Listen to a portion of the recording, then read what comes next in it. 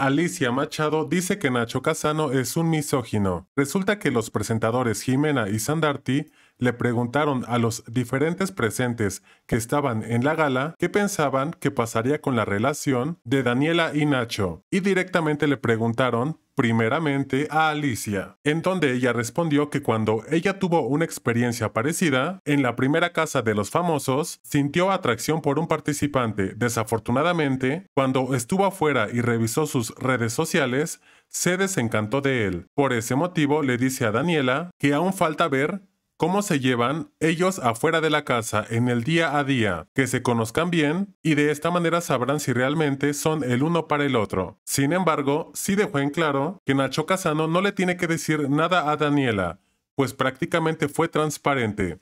Sin embargo, dejó en claro que Nacho es un misógino y que eso no se le va a quitar nunca. Por este motivo le dijo a Daniela que se cuidara, puesto que Nacho es un misógino y así seguirá. Pues obviamente, Alicia Machado anteriormente ya había manifestado que no confiaba en Nacho, que se le hacía una persona inteligente, pero a la vez nunca le tendría como tal confianza.